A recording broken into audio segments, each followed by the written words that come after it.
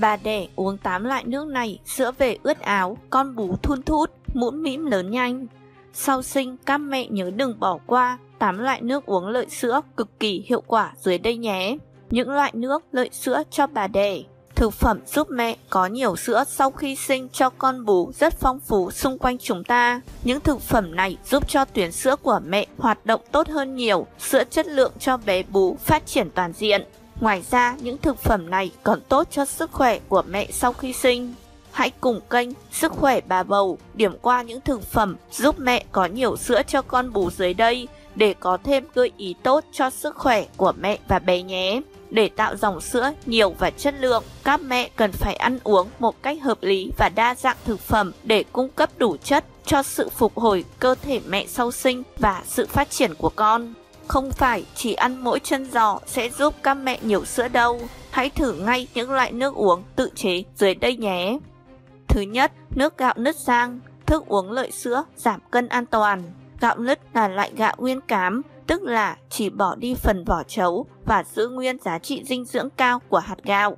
Trong hạt gạo nứt chưa sát vỏ có chứa nhiều vitamin như vitamin B1, vitamin B2, vitamin B3, vitamin B5, B6, canxi, magie, selen cần thiết cho sự phát triển của bé.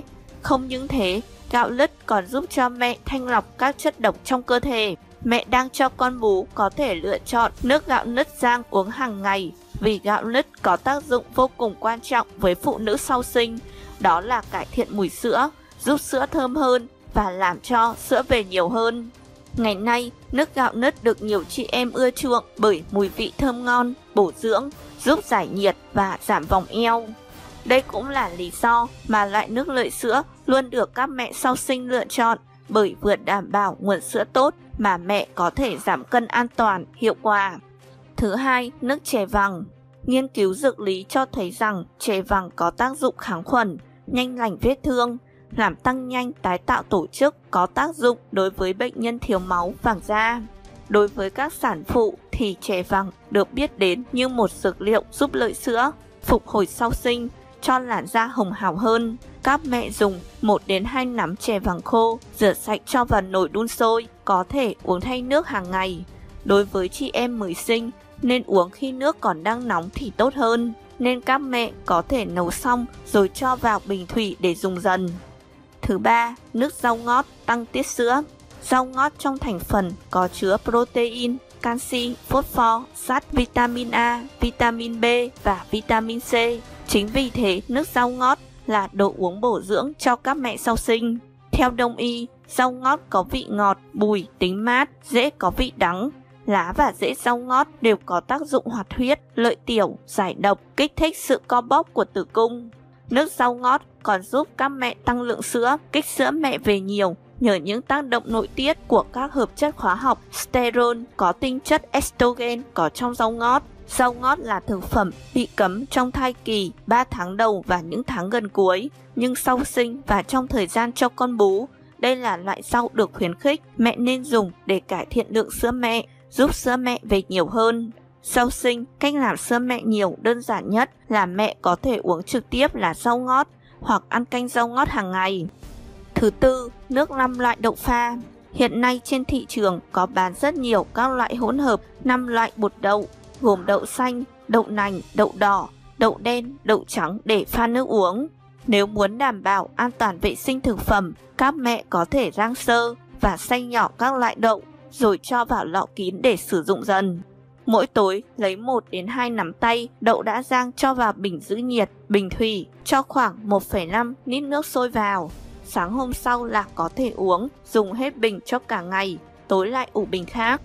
Thứ năm, nước lá đinh lăng. Lá đinh lăng cũng là loại nước giúp lợi sữa. Hàng ngày mua lá đinh lăng, rửa sạch rồi cho vào nước, đổ nước ngập lá, đun sôi sau đó chắt lấy nước và uống khi nước còn ấm.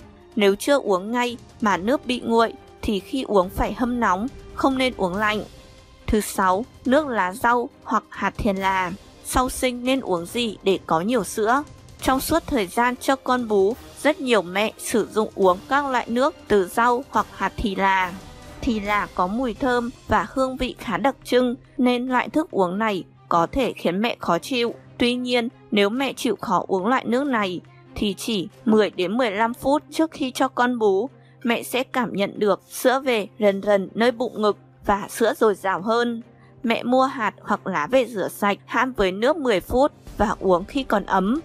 Thứ bảy, nước lá mít. Quả mít là một loại trái cây được nhiều người ưa thích, dù lá mít thông thường không được dùng làm thực phẩm, nhưng với các mẹ bầu, nước lá mít lại là thức uống tốt cho bầu sữa.